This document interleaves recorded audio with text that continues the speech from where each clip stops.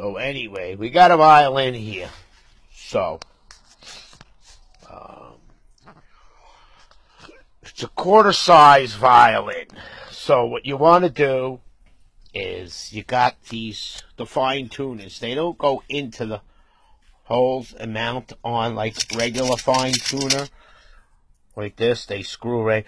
So if you're gonna have a quarter size violin and you need to put these on, they look like this. And there's a little slot, so it goes underneath the string. The string goes underneath the slot and over the top and into the hole, and looks like this. So you see, and the little lip will sit right on the edge of the tailpiece. So you got this. This is how it's going to look. So you see that? String goes in to the front here. Underneath into the slot. Over the top. Then it goes into the hole and the little lip sits. So now, in other words, now when you press it, push it down, it's going to put pressure on the string and then you can fine tune it. And that's the way it works. So that's what I did was here. I replaced all the fine tuners. And then you're going to want to take the string out and uh,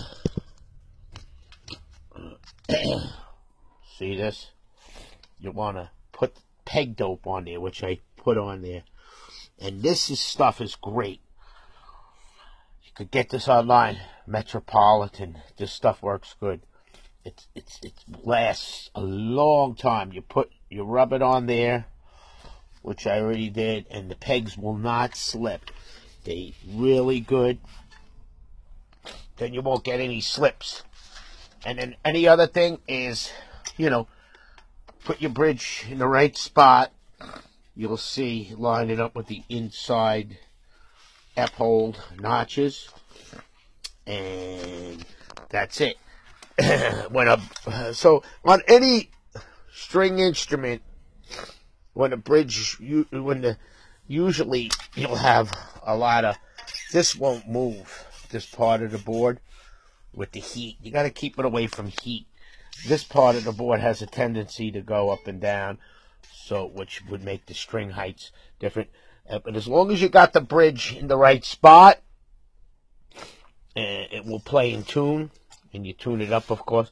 But if the bridge bumps, then then you're gonna have to play in the board. But most of the time, it'll be good on any string instrument, you know, um, except for guitar, you know, um, you know, cello, bass. Um, you know, this will warp up and down, up and down, and then you have to adjust according the bridge. As long as the bridge is in the right spot and the action's not too high, if there's too much of a dip in the board and the action's too high, you can't bring it down too far because it's going to hit over here. Then you have to take the board off and straighten it and all of that. But just little dips and bends won't affect uh, the playing ability and the intonations. Uh, so that's it for today. Uh, so we're going to get on. We got a bunch of these violins we got to do. And we're going to get on with that. Okay. See you later.